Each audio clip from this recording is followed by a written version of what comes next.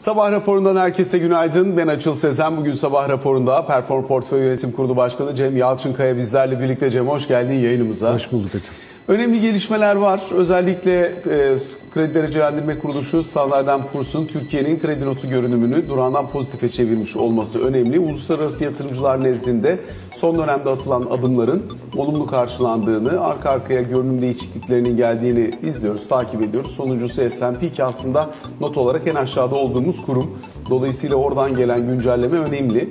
E, bununla birlikte neler ön plana çıktı diye bakılacak olursa planlı bir e, görünüm değişikliği gibi de değil. Aslında Merkez Bankası'nın 10 puan üzerine faiz artırımı ve aynı zamanda benzer şekilde e, Merkez Bankası rezervlerindeki yükselişin gerekçe gösterilerek bir ara değerlendirme yapıldığı söyleniyor.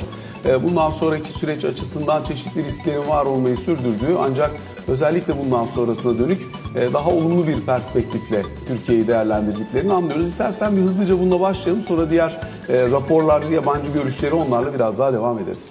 Memnuniyetle açıl. En son birlikte bir araya geldiğimizde e, tabii çok şükür demiştik ve ondan sonra da gelişmeleri pozitif algıladığımızı senle de epeyce konuşmuştuk.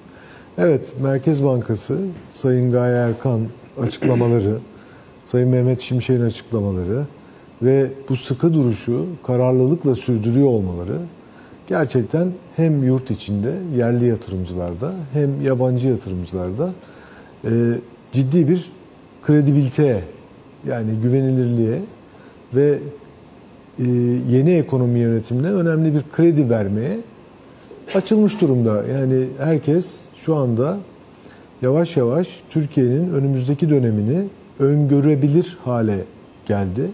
Yerli yatırımcı da, yabancı yatırımcı da bunu biraz daha öngörülebilir buluyor.